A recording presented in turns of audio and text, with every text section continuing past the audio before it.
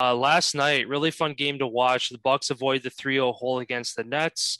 Uh, they get the win 86-83 in a big defensive game. I mean, looking at the score, nobody broke 100. Um, I think both teams shot um, at less than 40% from the field or close to 40%. And um, yeah, it was a really fun game to watch. Again, it was frustrating to see Giannis struggling from the free throw line and trying to pull up from three when again, those are just turned. I think he was 0 for 6 before he made his first three pointer, and then he went like 0 for 3 or 0 for 4 from his last attempts from three. So, I mean, yeah, he's four for his last 22. Yeah, that's not good.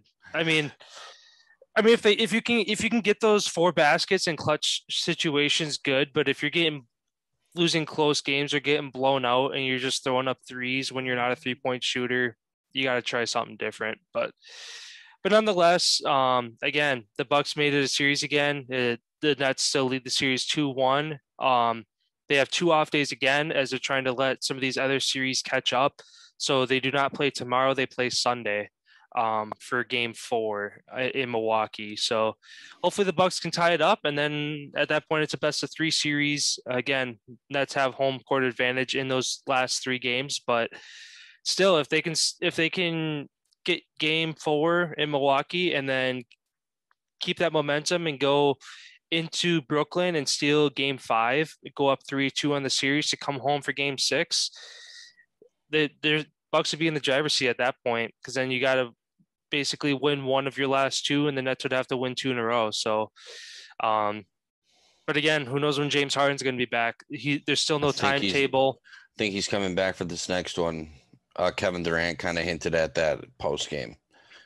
Um, but one thing I did see from the Bucks that we haven't seen the first two games, they slowed the pace down. The Nets are just full go, full go, like 150 points. Let's go. You know, the Bucks slowed them down, and when you slow slow down a team that likes to operate like that, you th- you catch them out of rhythm, and they miss shots, which they did.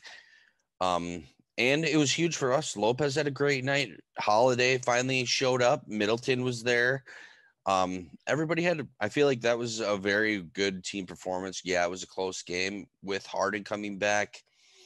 It's still going to be, that's going to be a tough task to get done, but one basket at a time, up and down the floor, one stop at a time. And next thing you know, you you can win again. So, mm-hmm. yeah, that, that game was very fun to watch last night.